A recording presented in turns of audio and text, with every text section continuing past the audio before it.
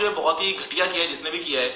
अब ऐसे में गलती यूट्यूब की नहीं है, गलती धर्मेंद्र भाई की नहीं है। उन्होंने सिर्फ़ प्रमोट करने के मकसद से वीडियोस अपनी डाली कम्युनिटी टैब के अंदर और ये बहुत ही अच्छी बात है। लेकिन ऐसे में अगर किसी ने धोखा दिया और किसी ने स्ट्राइक लगाई है तो उस इंसान की सोच का हम क्या बोले, समझ नहीं आता। और ऐसे में चाह के भी अभी कुछ नहीं कर पा रहे हैं, जो बेबसी है ना, ये बहुत ही एक, मैं बोलूँगा फ्रस्ट्रेशन है अंदर। वरना अगर मालूम चले कि हाँ इस इंसान ने स्ट्राइक लगाई है तो उससे हम बात कर सकते हैं, उससे पूछ सकते हैं कि भाई क्या रीजन है या जो भी बात है। लेकिन अभी तक क्लैरिटी नहीं है। और मैं हमेशा उनकी ईमेल में यही बोलता हूँ, जब भी उनसे मेरी बात होती है तो मैं उनको ये बोलता हूँ कि भाई, आपका फ़ोन नहीं मिल रहा है, जो भी है।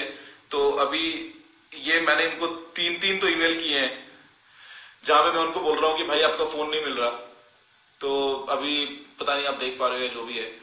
तो मैं वही उनसे बात कर रहा हूँ कि भाई आपका फ़ोन नहीं मिल रहा है, अभी बात हो, मालूम चले कि किसने स्ट्राइक लगाई है, जो भी है लेकिन ना हरकत बड़ी घटिया है ये, कि मतलब कोई आपकी मदद करने के लिए सामने आता है, जहाँ पे आपके चैनल के ऊपर कुछ 20 50 सौ नए व्यूज़ आ जाएँगे, उस चक्कर में आप मतलब कि आप पीछे से आगे स्ट्राइक मारते हो बिकॉज़ आपको मालूम है कि ये रूल है, और ये आपके मतलब ना